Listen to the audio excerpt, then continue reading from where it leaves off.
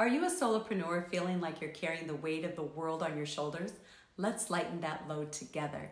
I encountered a woman solopreneur who, like many of you watching, was carrying the weight of her world on her shoulders.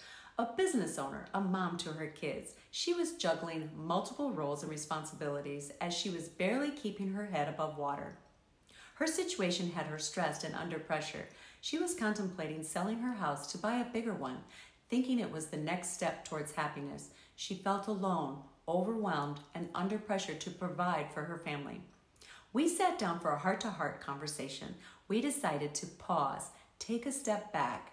I could see her stress. Together, we laid out her goals, peeling back the layers to uncover the why behind each one. The aha moment came as we delved deeper into her desires for her home and realized that her current home already had everything she needed. The bigger house she thought she wanted was actually a symbol of the success she was striving for in her business and the balance she wanted to restore in her life. Now we refocused on what mattered most to her. She didn't need to sell her house after all. Instead, she needed to recalibrate her work life balance, seek support for her business, and reconnect with her deeper why.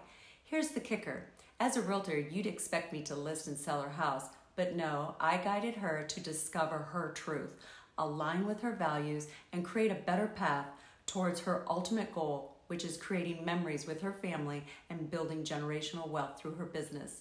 In the end, not only did she save thousands of dollars, but she also found a renewed sense of purpose and balance in her life. We ended up as more than just client consultant relationship. We became friends. Now, you might be wondering how does this story relate to you? Just like her, many of you are grappling with multiple responsibilities and big decisions. You're trying to do it all on your own, but you don't have to. Sometimes all you need is to take a step back, a moment, reassess your goals, and realign your why. You might be wondering, how did this transformation happen? It's about clarity, alignment, action. First, gaining clarity on what truly matters, not just in business, but in life. You see, oftentimes we get so caught up in what we think we should do that we forget to ask ourselves why why we want to do it in the first place. Secondly, alignment with your deeper why. It's not just about making more money or scaling up. It's about aligning your business goals with your life goals. And finally, taking targeted action. It's not about doing more, it's about doing what's right for you. This involves setting boundaries, asking for help, and focusing on what truly drives you so you don't just succeed in business, you succeed in life.